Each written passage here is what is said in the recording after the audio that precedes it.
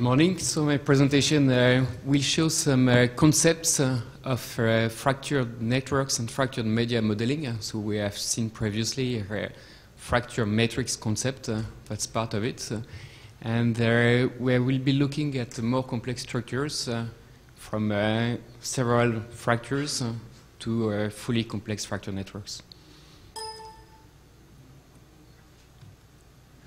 So classical modeling frameworks uh, have double porosity, discrete fracture network, and stochastic continuum frameworks.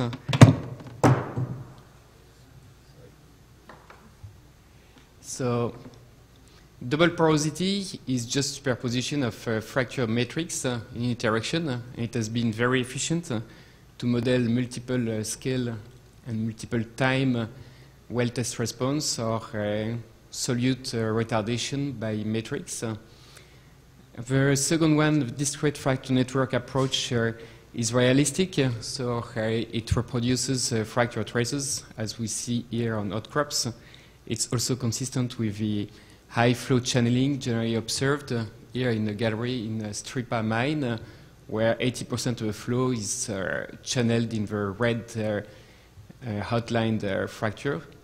And the last one, the stochastic continuum approach, is efficient because uh, it's a parsimonious uh, approach uh, with very few parameters and the large body of knowledge on stochastic continuum approaches allows us to find virtually all kind of permeability upscaling like this one stated by Clauser in uh, permeability uh, synthesis of uh, crystalline rocks. So these different approaches have both advantages and drawbacks. Uh, and uh, what we would like to propose uh, is some alternative concepts that will factorize most of the advantages of these different approaches. So to do so, these alternative uh, approaches should uh, reproduce fast flow responses, both for uh, field testing and solute trapping persistence of uh, extreme channeling. Uh, we should be parsimonious uh, and we should reproduce the same kind of permeability scaling. Um, but they should also uh, have some uh, other properties uh, that are less known in fractured media, like the broad spectrum of permeabilities shown here by Clauser. Also, most fractures are dry, as shown in this gallery in, in Stripa. Generally, models are much too pervious and not enough channeled we should also uh, have some critical variation of permeability here uh, because of connectivity effects. That is very important for seismological application. And uh, for reactivity, uh, we should have uh, some focus mixing and enhanced reactivity in some of our fracture network sections, like fracture intersections. So um, uh, framework has been uh, proposed early, that's percolation theory. So we are going to look at uh, what percolation theory uh, respects. So there is a persistence of extreme channeling, as shown here on this uh, flow on the connected clusters. So we see this large distribution of uh, flow values, which are in fact multifractal. it's parsimonious. There's only one parameter, the fracture density. Here, uh, parity scaling is decreasing. And the reason why it's decreasing uh, is that uh, it's not really a fractal, uh, this backbone structure, but it's what, what is called a, volatile fractal. And the volatile fractal is defined both by internal properties and by the boundary conditions. And most of the permeability decrease is in fact a boundary effect. So it's highly likely that in natural fractured media also the permeability scaling that is shown is highly dependent on boundary condition. So that's why this condition on permeability scaling, uh, we will discard it, sir. Uh, there are mostly dry fractures, um, and there are possibly a critical variation of permeability and focus mixing uh, in the critical bonds, the red bonds or bottlenecks that we show here in red. But uh, the main trouble of this approach uh, is that uh, it doesn't respect the broad spectrum of permeability requirements in fact, as there is only one parameter, uh, and as it's a statistical theory, uh, it leads uh, to only a unique value of permeability with scale.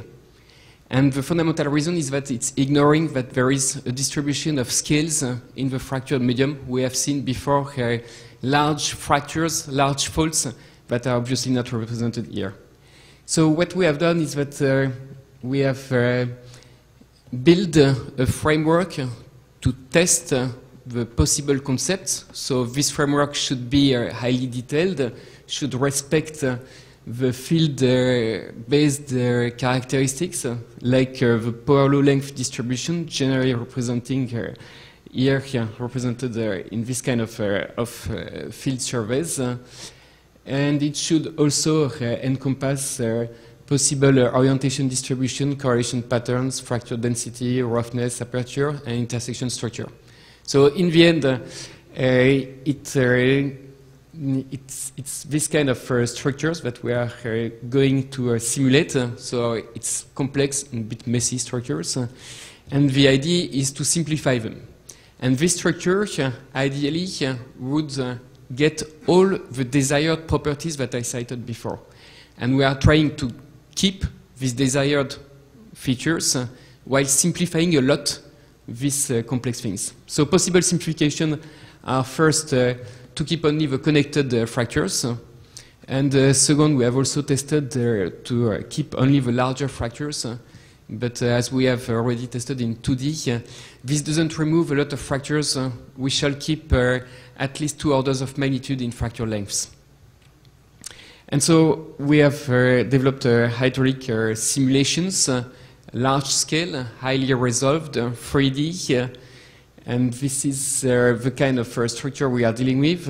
network complexity, also uh, fracture complexity, here taken as the logarithm of the cube of fracture aperture.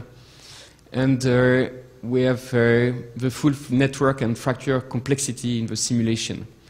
We simulate the flow equation under permeameter boundary conditions uh, here to get both the flow structure and the equivalent permeability. So we compute uh, equivalent permeability both uh, for the network scale, for the fracture scale, and for the full uh, network plus uh, fracture complexity. And the idea is to uh, obtain from this um, permeability matrix some indication on the control on the flow control and flow controlled parameters. So we take uh, equivalent permeability uh, as a first indicator uh, of the flow structure control. So here it's a normalized version of uh, fracture network permeability that uh, is indicative, uh, for example, when it's lower than one, of bottleneck control structures, a bit like in percolation theory before. So we see here uh, in red the high flow zones and in blue the low flow zones. Uh, the low flow zones are much uh, denser than the high flow zones. So if we remove the low flow zones, the blue color from this picture, we see here on the left that uh, we have a highly channeled uh, flow structure with uh, primary channels in red, secondary type of channels in green and yellow, and the rest of uh, the fractures, meaning most of the fractures, uh, are very low flow zones. So on the other hand, uh, when we get a value of uh, this ratio larger than 1, uh, we have parallel flow paths, much denser structures, and we have also cases where there is no correlation between fracture and network permeability. In all cases, we have the same pattern with distribution of uh, primary flow zones, secondary flow zones, uh, very large uh, areas where flow are very small uh, that will likely enhance dispersivity, and the matrix. So we propose uh, locally to represent these structures as, as, this kind of patterns, this kind of small patterns with the high flow zones, the secondary flow zones, the dispersive structure and the matrix uh, structure. And uh, the idea uh, of the concept we propose uh, is the following. Uh, so we start from this uh, elementary cells, the structure interacting continua, on which Tristan Babey will have a poster this afternoon. and we integrate these local structures as elementary cells of a renormalization group method. Here, this one is multiscale. That means that on this regular grid, uh, we will have uh, at each scale uh, inclusion of new fracture structures. So it could either be on a grid like this uh, or be on the grid formed by the larger fractures. And uh, on the larger fractures, that's typically a double, discrete double porosity approaches that both respect the structure of the larger identified fractures, for example, and uh, the local uh, processes of interaction between fracture and matrix. This is very uh, close to uh, classical approaches, uh, indeed, because, uh, for example, for double porosity, the elementary renormalization cell is just a mobile zone in red connected to an immobile zone, and it's renormalized on a regular grid. It's also uh, conceptually very close to uh, other approaches like uh, multiple interacting continua, where the renormalization cell, the elementary cell, is a flowing uh, structure connected to this string of uh, immobile structures that represent uh, matrix blocks that are more and more distant from more and more distant from the fracture. So as a conclusion, we have developed uh, multi-scale uh, fracture media uh, models in order to uh, get references, high resolution uh, references of a flow structure uh, to propose these different alternative modeling concepts uh, structure interacting continua at the local scale, uh, upscaled uh, through renormalization to full scale, either regular grid or discrete double porosity structures. And we are currently in the in, in testing, uh, uh, calibrating and synthetically uh, testing these methods before field testing them. Thank you for your attention.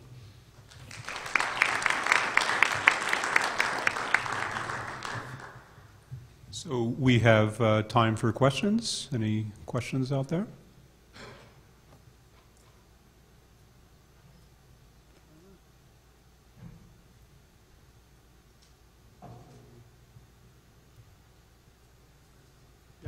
Question? Comment what kind of field tests you require for your validation or verification? So there are basically uh, two information that we would use. Uh, geometrical information uh, so uh, that could be used as a prior in a Bayesian uh, um, inverse methodology. and hydraulic test data that would be used as as Uh, data that should be fitted uh, to the model. Any other questions? All right, thank you very much.